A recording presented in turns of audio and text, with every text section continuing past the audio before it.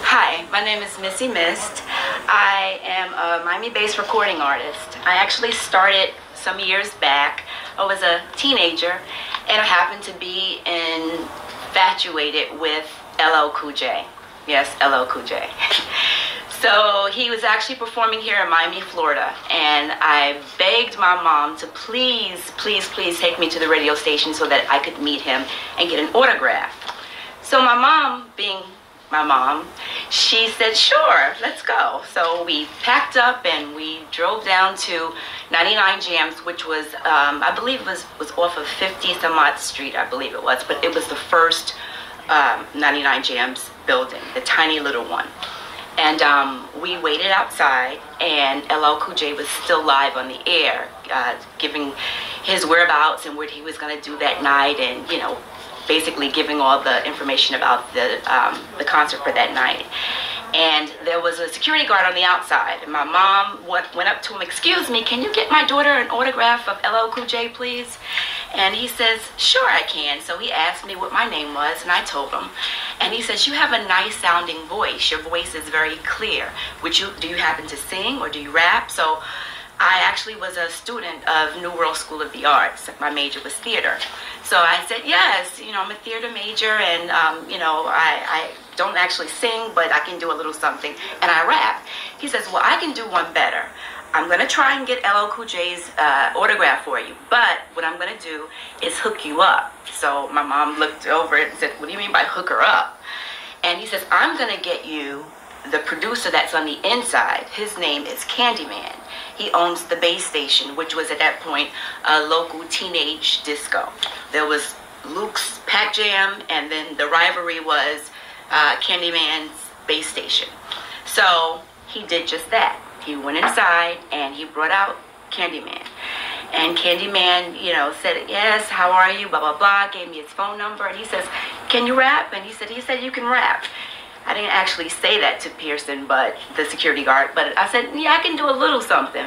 So he says, I'm not going to put you on the spot now. I'm going to allow you to rap for my producer. His name is Eric Griffin. So uh, basically we went through that. I called maybe a week later or so and I spoke with Eric and Eric was different. Eric was very outgoing. He was direct in your face.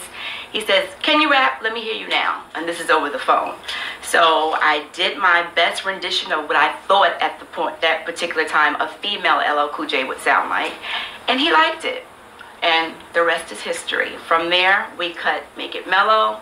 Make It Mellow charted very well. It was placed on uh, Bass Station records. Um, it's horrible to say that Norberto was shortly uh, murdered after that. So he actually didn't see, uh, you know, the, the fulfillment of his little protege, which was me, Missy. Um, we then did Getting Bass, and Getting Bass was actually my launching record. And I call it launching because it plateaued me to an area where other major labels were really, really interested in me as an artist. I was signed by Atlantic Records, Sylvia Rhone, and from there, uh, that didn't work out well. They basically shelved me initially. And Skip Miller and Miller London then picked me up through RCA.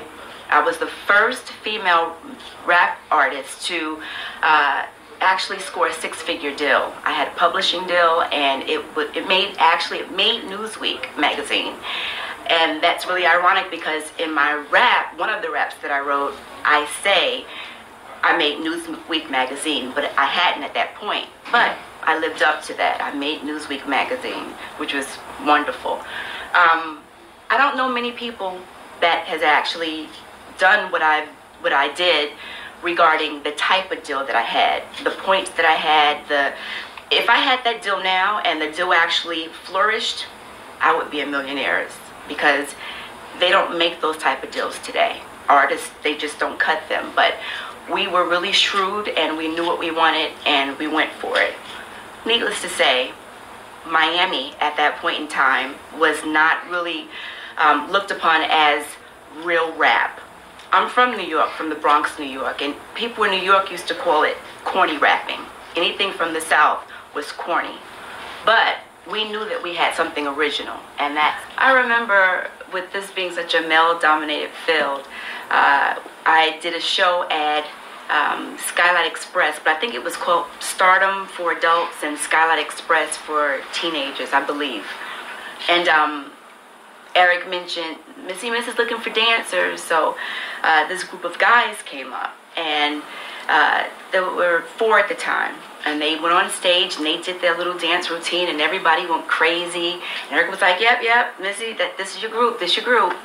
He chose my dancers. Meanwhile, Eric can't dance. Anyway, so we they come to my house and we practice, practice, practice for this dance, for this particular show that I had, and um, everybody that was on this show was at Studio 183 here in Miami. And everyone that was on the show were all guys, which often happen. I very seldom perform with other females. Um, there just weren't a lot at the time, so that's just the way that it was. But um, we went on stage, we did the show there, and there were like maybe two people in the audience, I would say.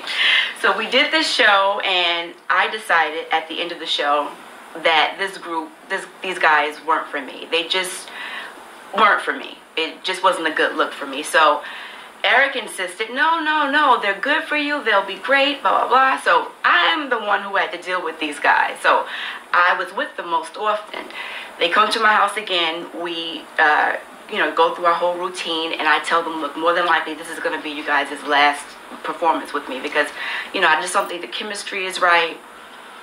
They practiced the entire routine with me. I mean, we, we had it down pat. We do the next show, which I believe was at uh, Six Flags. I, I think it was called Six Flags at the time. We go on stage. They do an, a completely different routine from the one that we practice. So I look like a complete idiot because I'm doing different dances and thinking that they're fitting in. They're doing something completely different behind me. They paid me back, but that was their last show.